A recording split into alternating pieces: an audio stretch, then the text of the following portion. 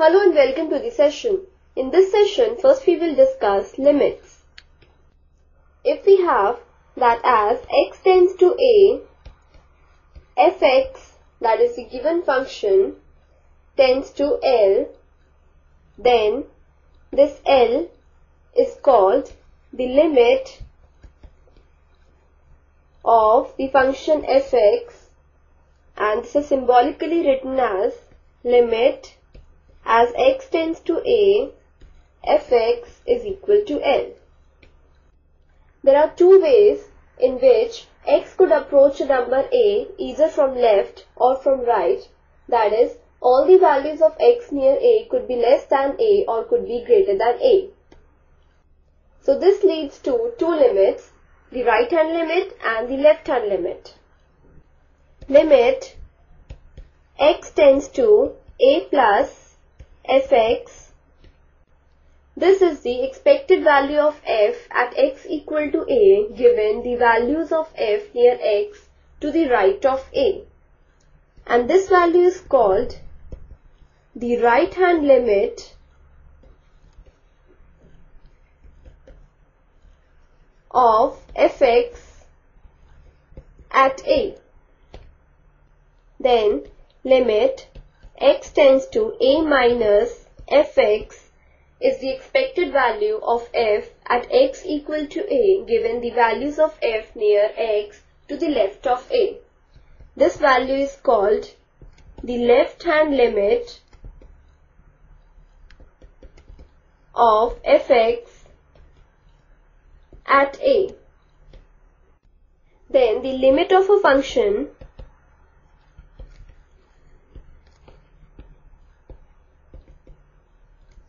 at a point is the common value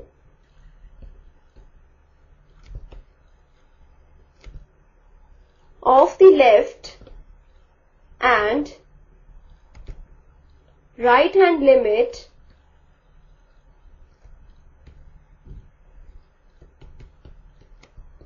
if they coincide.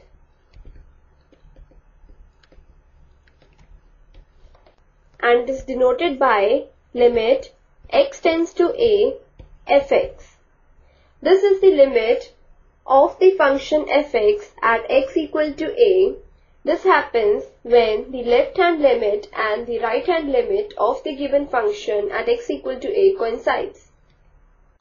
Consider the function fx given by 2x plus 3 when x is less than equal to 0 and 3 into x plus 1 when x is greater than 0. We need to find limit x tends to 0 fx. First let's find the left hand limit of fx at x equal to 0 that is limit x tends to 0 minus fx.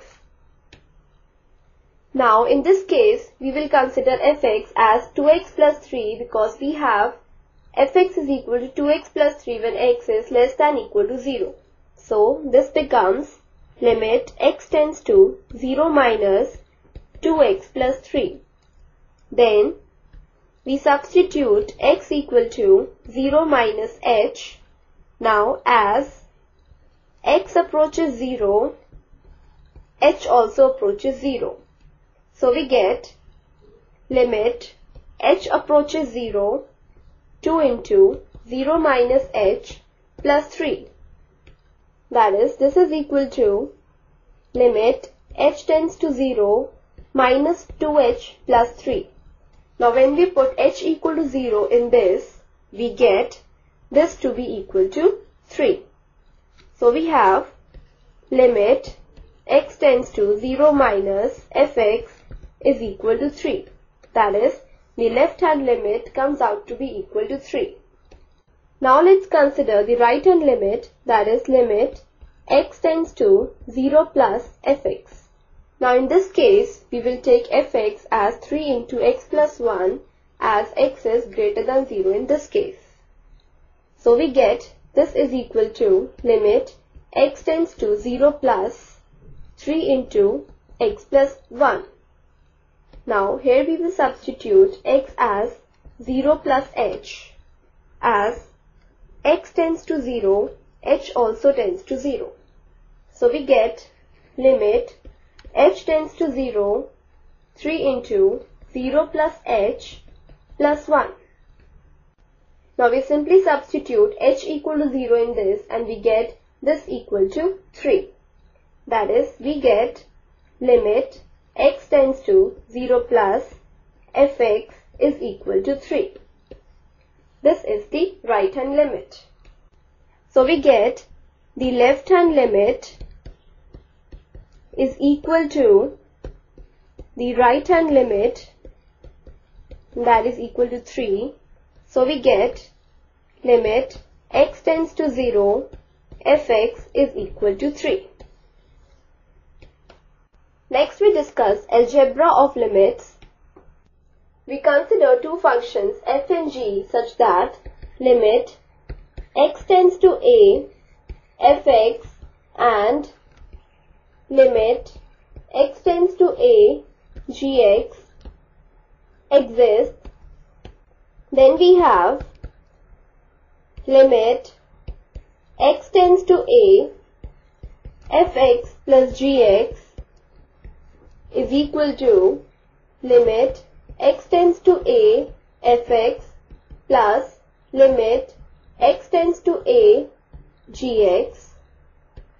Then next is limit x tends to a fx minus gx is equal to limit x tends to a fx minus limit x tends to a gx then limit x tends to a fx into gx is equal to limit x tends to a fx into limit x tends to a gx then limit x tends to a fx upon gx is equal to limit x tends to a fx upon limit x tends to a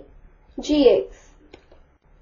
And also the particular case of this third property if we have that function gx is some constant lambda that is limit x tends to a lambda fx this would be equal to lambda into limit x tends to a fx. If we consider fx to be a polynomial function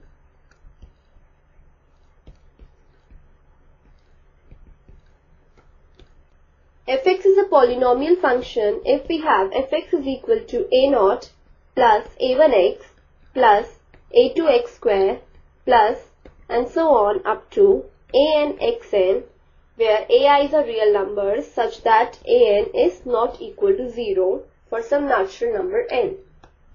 Then limit x tends to a fx which is a polynomial function is equal to f of a. And if we have the function fx to be a rational function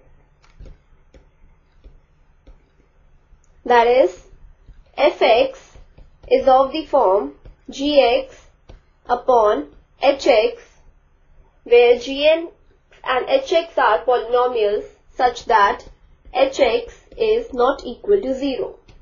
Then in that case, limit x tends to a fx would be equal to g of a upon h of a. If in case we get ha is equal to 0, then we get two cases when GA is not equal to 0 and when GA is equal to 0. When we have GA is not equal to 0 and HA is equal to 0, then limit does not exist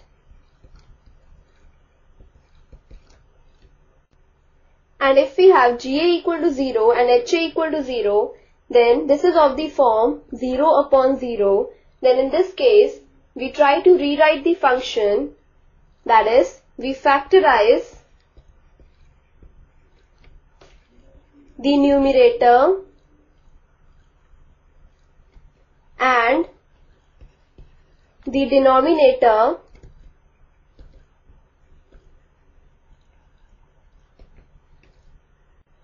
and we cancel the factors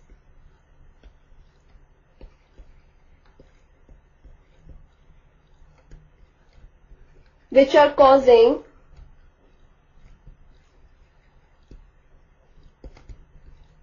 the limit to be of the form 0 upon 0. Let's try and find the limit x tends to 3, x square minus 9 upon x minus 3. Now when we put x equal to 3 in the numerator and in the denominator, we get the form 0 upon 0. So what we do is, we factorize the numerator and the denominator. So we get x plus 3 into x minus 3 upon x minus 3.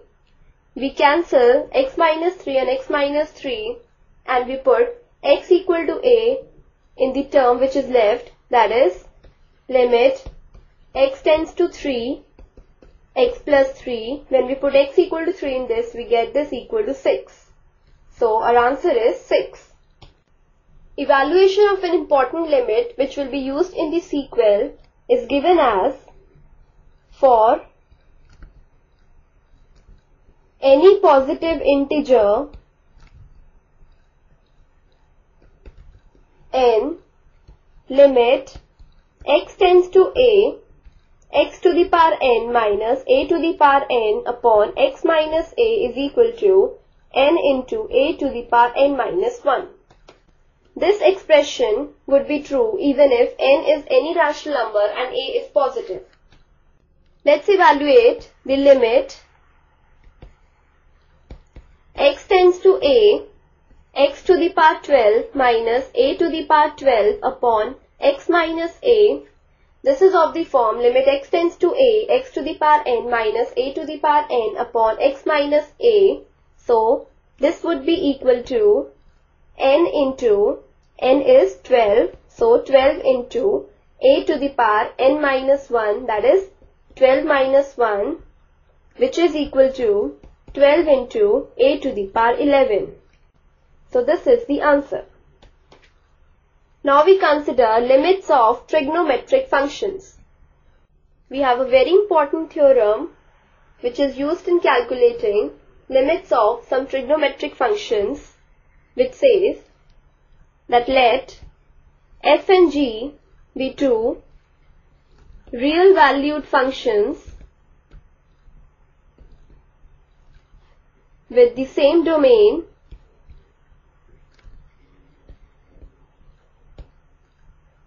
Such that fx is less than equal to gx for all x in the domain of definition. Then for some a if limit x tends to a fx and limit x tends to a gx exist then limit x tends to a fx is less than equal to limit x tends to a gx. Another important theorem that we have is sandwich theorem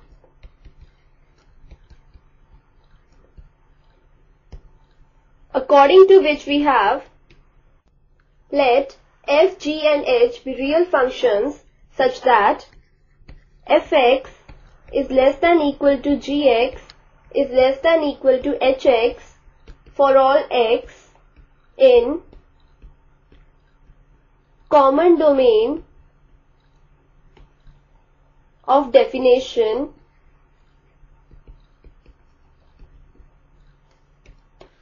for some real number a if limit x tends to a fx is equal to L is equal to limit x tends to a hx.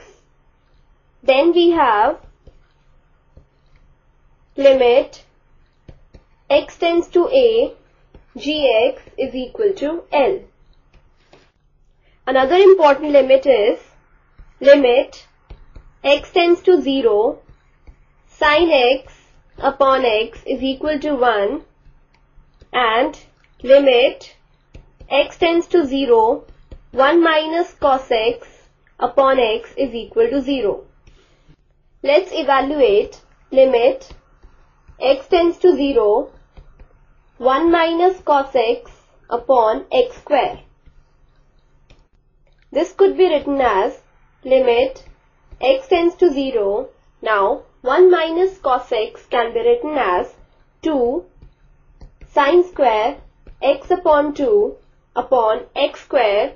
Now x square can be written as x upon 2 the whole square multiplied by 4 that is this is equal to 1 upon 2 limit x tends to 0 sine x upon 2 upon x upon 2 the whole square as x tends to 0 x upon 2 also tends to 0 so this is equal to 1 upon 2 limit x upon 2 tends to 0 sine x upon 2 upon x upon 2 the whole square.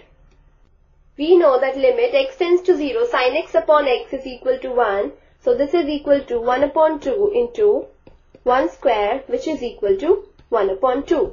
So this is the answer. This completes the session. Hope you have understood the concept of limits.